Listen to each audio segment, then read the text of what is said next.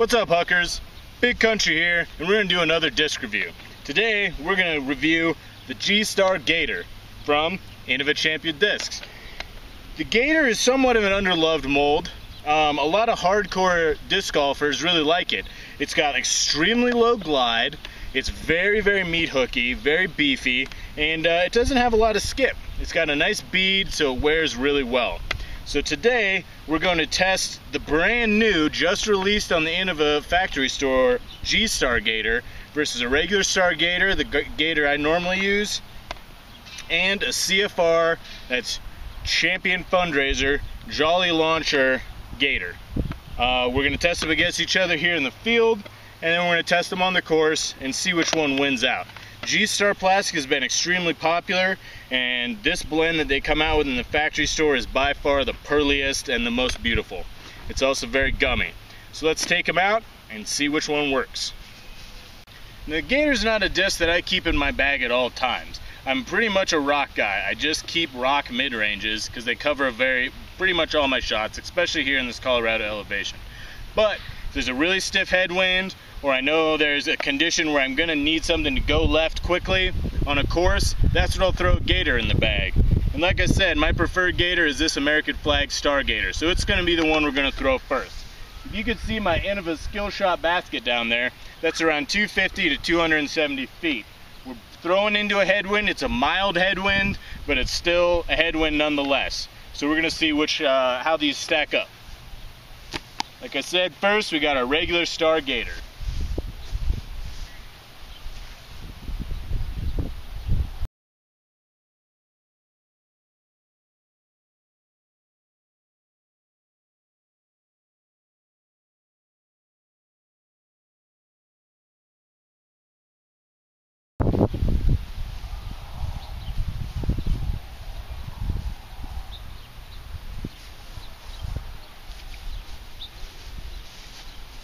Next up, we got our CFR Jolly Launcher Gator. These are uh, pretty new for the Innova CFR line, but they're really great. They're still pretty flexible. It's that great Jolly Launcher plastic. This is not one of the flat tops, uh, so it might have just a little more glide than a flat top JL Gator would.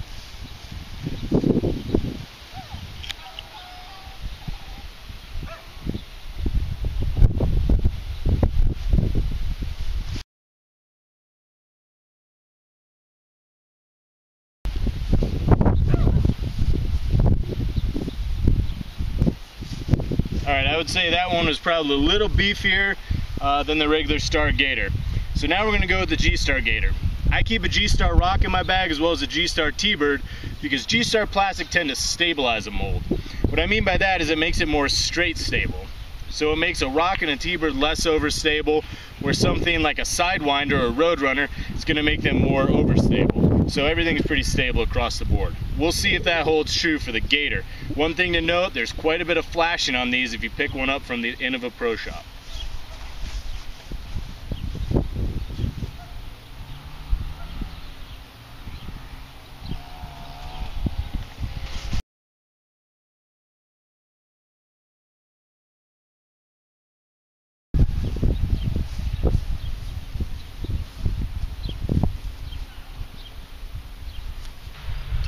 You can see, we ended up way left in my Innova skill shot. As predicted, the Gators ate up the headwind like it was no thing.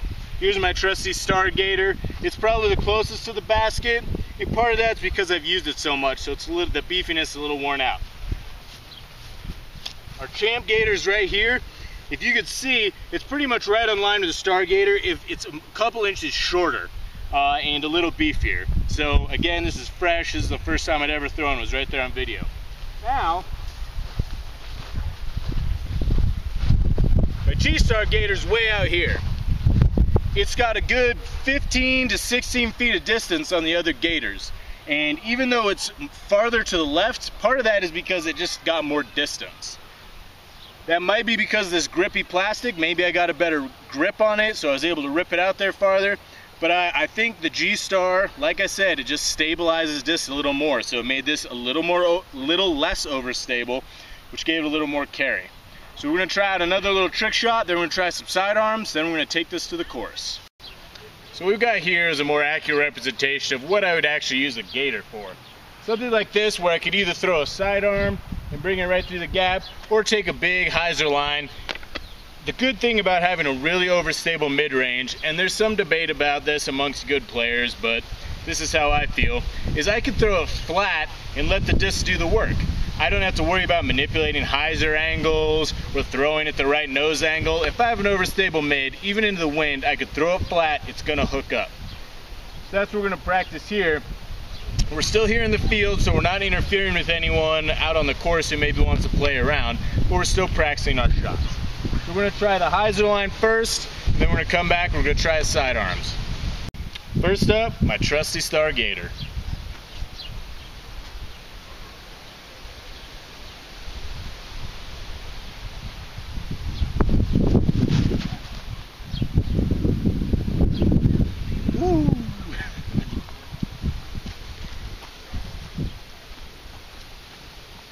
Almost made that one the basket. Next up, CFR Bright Green Champ Gator.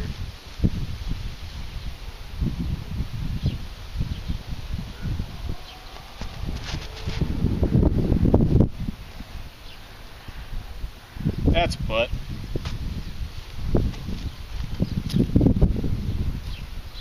Last but certainly not least, brand new purple G-Star Gator, right from the pro shop.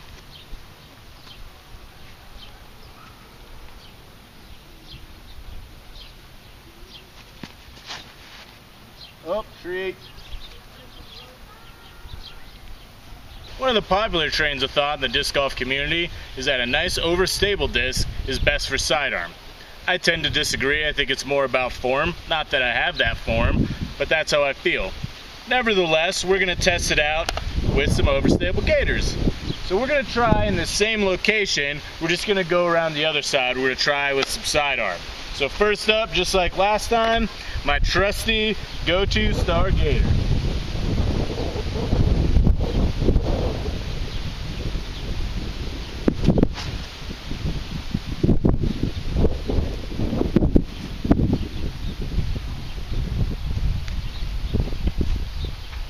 Not exactly the window I was shooting for. Next up, our champ JL gator from the Bloom tournament here in Colorado.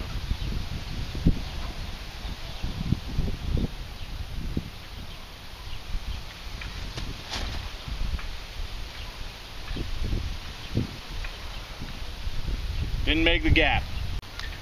Last but certainly not least, our brand new G-Star Gator.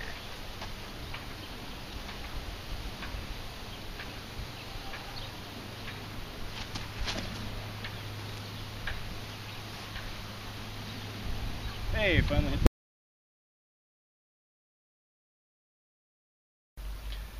here at hole 14 at Cumberland Green, which is my local course. It's pretty short. In the current pin position, it is at 243 feet, which is right about gator range for me. Like I said, low glide, the thing's an overstable brick. Now we have a couple different uh, ways we can attack this hole. We can go with the sidearm route or we can go the big hyzer route. Either way, I like to have something that's overstable and low speed. So that's what we're using the gator for. So we're gonna throw with a big hyzer angle, we're gonna throw with a big sidearm, and then we're gonna come back, we're gonna have some conclusions. So first up, throwing backhand, my trusty Star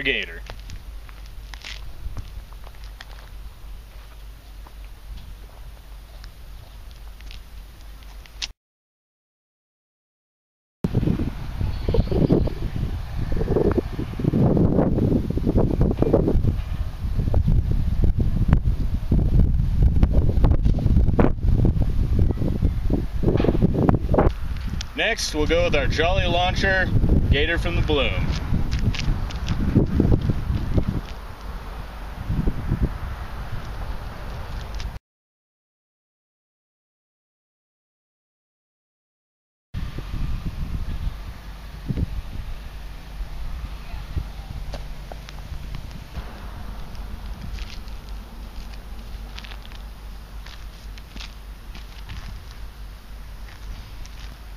Lastly, backhand, G-Star Gator.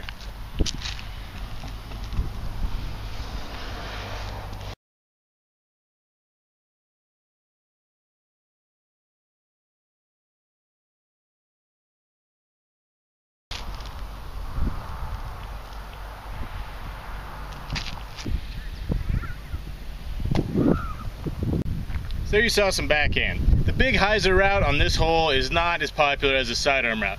Part of that is this is a shorter course. It's frequented by newer players, or chuckers as we like to call them, who really throw nothing but sidearms with high-speed drivers. And this is about the distance that they can throw it. So this is a really popular hole. It's had a lot of aces on it. People using bosses and destroyers. But we're gonna use something a little more appropriate. And we're gonna use the gator. I'm gonna try and bring it down sort of on the uh, left side of the fairway here and hope it hooks back up right. I don't sidearm my gators a lot, so this will be an interesting experiment. We saw how it worked out in the field. We'll see how it works here. First up, Star Gator.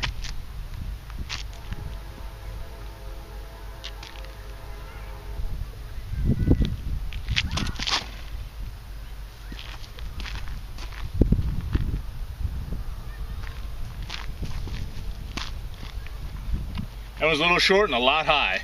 Let's see if we can keep this champion gator a little bit lower.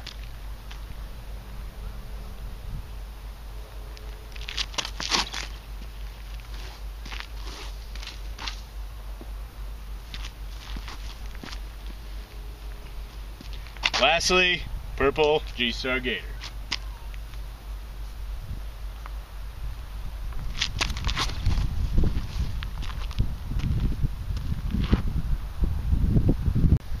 As you can see from these sidearms, I've actually made a pretty perfect triangle here. Pretty proud of that. A gator's a gator. The G-Star's a little longer, the Champion's a little beefier. They've all got about the same amount of dome. They've all got low glide. They're all great discs. Obviously, as you could tell from my in the bag and all sorts of other stuff I do, I'm mostly an Innova guy. So I recommend the Gator. If you have to have an overstable mid-range, this is the one to get ladies and gents. It's got a nice small dome, it's got low glide, it doesn't skip, it's very durable with the bead, and you can't go wrong in any of these plastics. They're all great. The Star and the Champ are they're both very durable, they both got good grip, flex. The G-Star is a little gummier, it's got a little bit better grip, and this Pro Shop, Pro Shop G-Star is just, it's amazing to look at, it's super pearly. So you can't go wrong. Personally, I can't recommend one over the other. I'm not one to carry around a huge amount of backups, but now I've got three gators. And since I don't throw gators that much, I've got gators for the rest of my life. So go out and get you some, and make sure you huck some aces.